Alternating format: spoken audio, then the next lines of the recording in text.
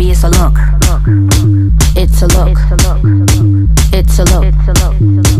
It's a look. Don't you see it? Cause baby, it's a look. What is up everybody? It's Naja here and I'm back at it with another video and this video is going to be a little bit different. This video is going to be showing you guys my first time ever trying to finesse a 360 wig. This is the wig back here. Letting you guys see that this is a legit 360 wig.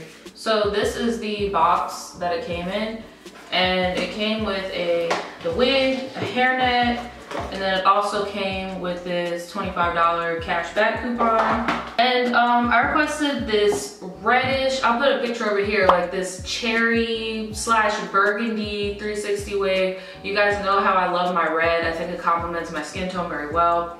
So I did go ahead and get a red type wig. Right off the bat, I'm gonna say some pros and cons about this wig. Um, I did end up cutting the lace. I measured my head and I cut the lace and stuff. I'll do a demonstration in a second, but I'm just gonna give you guys some first impressions that I realized with the wig. So I'm gonna start off with the pros. The hairline is pre-plucked, which is dope. It has baby hairs, which is even more dope. And I really like how it has like these little hairs on the perimeter to give it like a more natural look. I really like that. Obviously, I love the color. It came out better than I expected. I thought it was gonna be a little bit more brown, but it actually did come out as red as I expected. The main con I have is the lace. The lace is dyed red.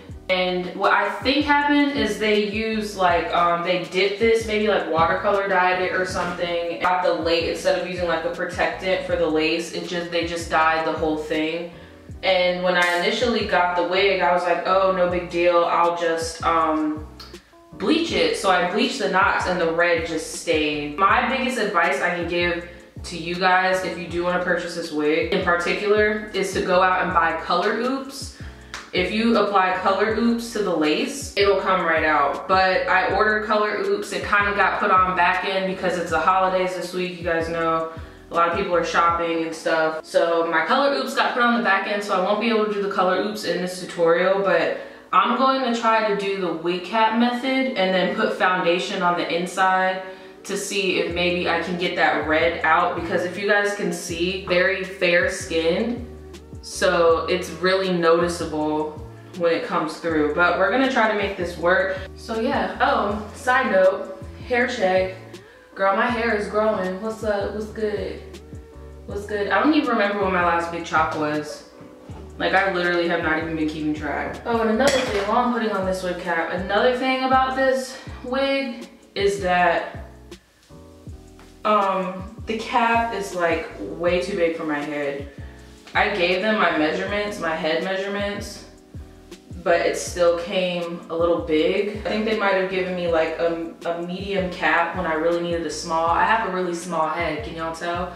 So I'm not gonna lay my hair down underneath so I can kind of get a little bit of volume going on because your girl needs it because uh, she don't, my head's not that big. So I'm just gonna be using my Got2b glued stuff. Again, guys, I already have a tutorial on how I lay my wigs down. I have a how I lay my, I know I look crazy. I know I look like Roger, okay? I, I'm aware that I look like Roger. Yeah, like I already have a tutorial on how I um, lay my wigs. It's mainly how I make my, my synthetic wigs look realistic video, but the same wig cap method that I use in that video is the same method that I'm about to use right now.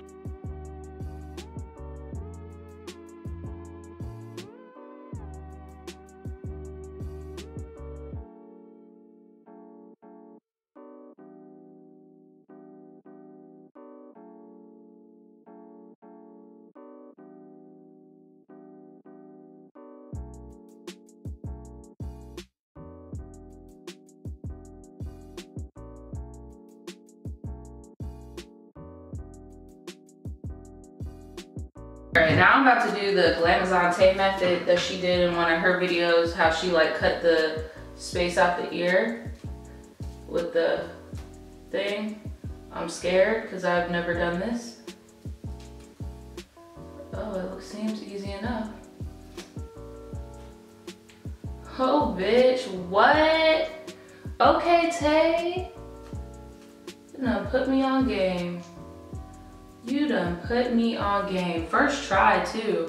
Oh, I did it a little bit too big on this side. Like, my hair is poking out, but this side isn't that bad. This is the hardest part for me because my hairline is not like a normal human being. Um, my hairline zigzags and stuff.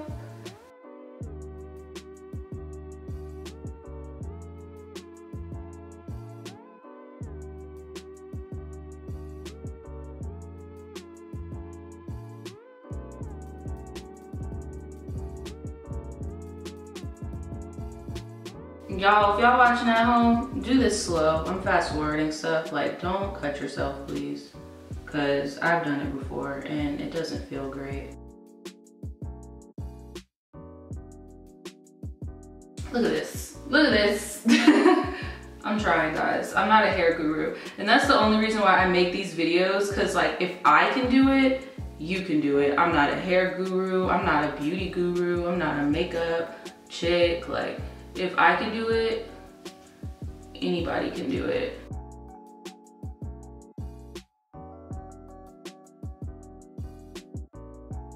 Oh my God, Naja, don't get it in your ear. Guys, comment below if you've ever gotten this stuff in your ear. It hurts so much. Oh my God, it's starting to slide. No, no, no, no, no. No, this is not what we're gonna do. Oh my God. It's starting to slide. Don't slide, please. I can't afford this mistake. I just spent so long trying to keep this together. You guys saw that though, right? It just like slid back. That usually never happens to me. I usually always get it on point. Okay, this is what we're about to do. We're just about to get into action while we're, you get what I'm saying? Like while we're ahead, let's just get into action. I'm like such the anti-guru, guys. Like, I don't know why people want tutorials from me whatsoever. I'm way better at like doing stuff in my own space. Yeah, this whole thing is just like pulling back. Like, why is it doing that? Did I just, y'all, I just ripped a hole in the lace. Oh my God, let me calm down. Let me calm down. Okay, I'm about to put the damn wig on. I'm about to put this wig on.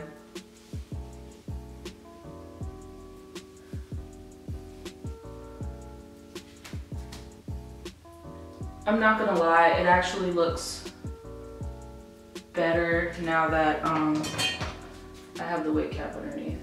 Like you can kind of see, does that make any, can you guys see it or not? I don't know, maybe I'm just being paranoid, I'm not really sure. But uh, I'm gonna go ahead and lay this down bit by bit because it's already trying to stick to my head because of how I did the wig cap. But hey, if my scalp looks good, that's all that matters. I'm just gonna go in with this Got2b glued and just dab around the hairline. Guys, I'm a hot ass mess. Like, but if I can do it, you could do it, okay? Like, salon who? I ain't going to nobody's salon. I'm about to do this right here in this bathroom. Now, when we get to how we're about to lay the back down, now that's gonna be funny.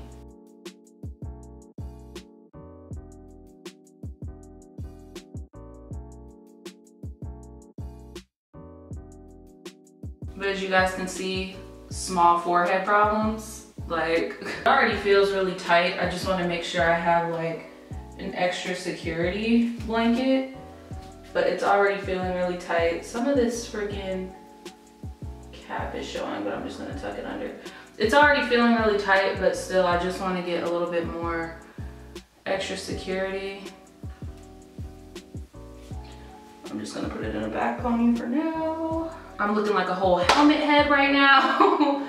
but it is already sticking. I just want it to be very secure. So I'm gonna go and wrap my hair down and then I'm gonna start styling this. I don't know if you guys can notice the hairline or not. I can see that it looks a little dark, so I'm definitely gonna hit it once we get everything laid down and secure. And yeah, we're gonna see if I have to make any revisions because sometimes the Got2b glued sticks and then, you know, it wants to do its own thing. Yeah, right off the bat, that's going on.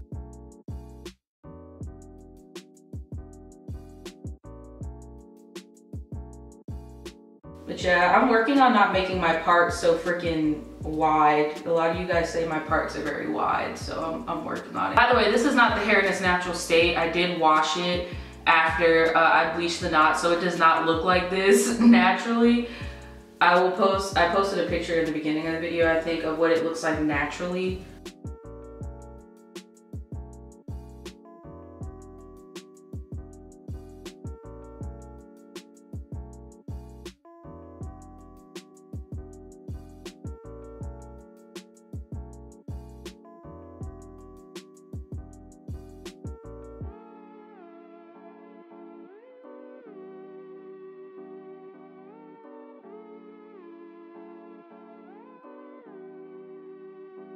All right, so now that I got the hair all tamed, I'm just gonna push this hair back and work on the frontal.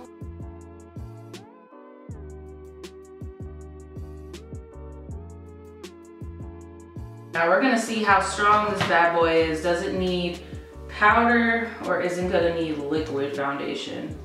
That's gonna be the real tea. Cause even how it's doing it on the part, most likely gonna need liquid foundation.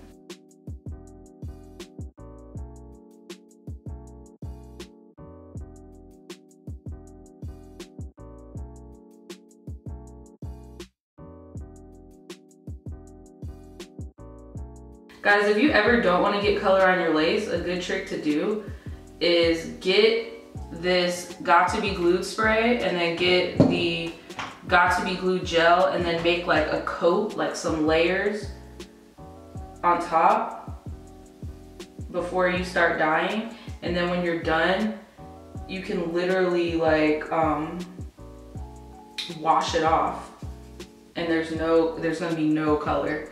It's like a little trick that I use better, but we're about to see once I hit it, once I get do my baby hairs and actually put on a full face of makeup how much this actually blends. I don't know what this is looking like on cameras, honey. Like, what are we doing? Um, where's my edges brush? Here it is.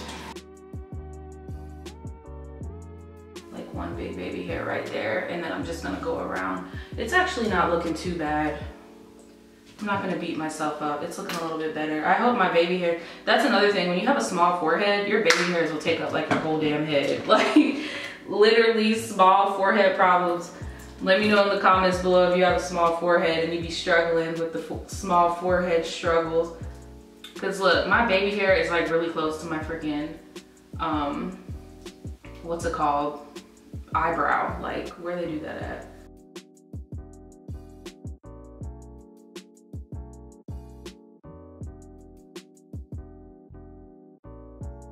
Okay, I'm back again. Y'all, this is taking me so long to do. Like, should get an award.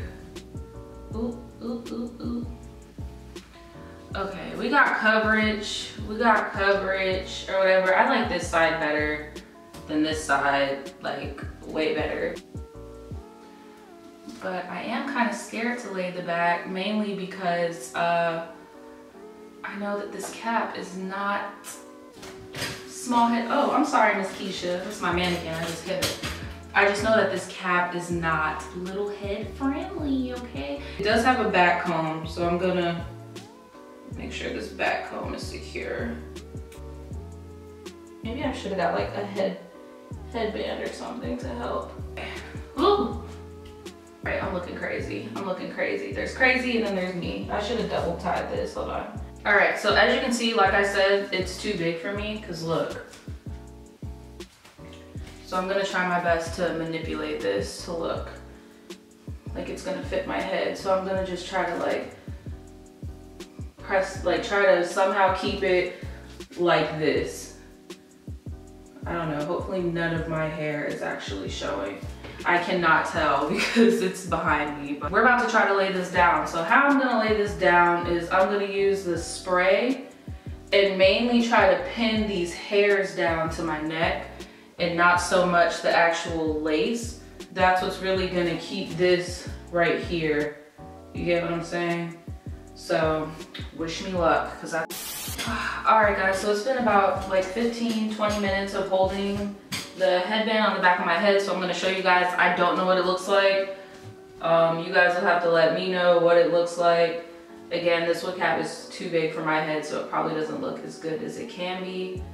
But yeah that's what the back looks like. I did cut these a little bit lower. So yeah that's what we got going on. Now me I'm just gonna wear the hair down. I just thought like for the purpose of the wig, I would show you guys that it can be put up.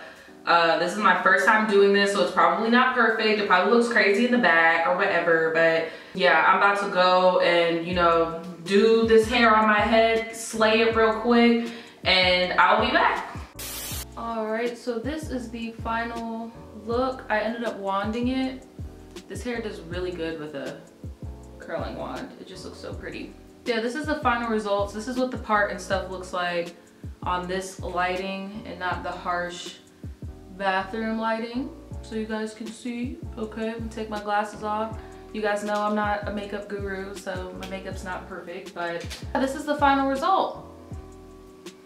Um, I was gonna do like a half up, half down type of deal, but I just want it to be down because of the texture. I just think it looks way better. What I think I'm gonna do, I think I might buy like a natural color wig from them because they did do a very good job with like the plucking and stuff. I did not have to pluck anything on this wig. I think I might just buy like a natural color from them and try to finesse that wig. I think I'll have an easier time and also make sure that I get the smallest cap that they have so it can be snug on my head because the actual hair itself is freaking gorgeous. It's just the lace and then the cap size, which could be changed, you know, but yeah, next go around, I think I'm gonna get a natural color and maybe even like a curly pattern and try it out so I could do the half up, half down. Uh, let me feel this. In the back, let's see if it's still holding up. Probably not. So if you guys like this wig, all of the information will be in the description below. Remember to get that tint out of the lace, go ahead and get the color oops. And yeah, that's about it guys. I will see you guys later. Bye-bye.